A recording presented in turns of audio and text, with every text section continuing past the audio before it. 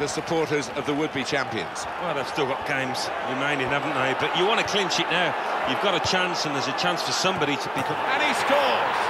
Great moment for the football club because they are closing in on the title. They look like uh, securing, really, from the way the season started for them. They've been the real team in this division.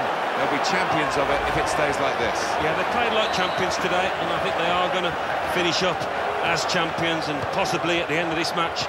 The only surprise here is we've had to wait so long for the goal with so many uh, good attacking moves to this point. Well, both sides have looked capable of scoring, and uh, the question is open now for the trailing team. Can they come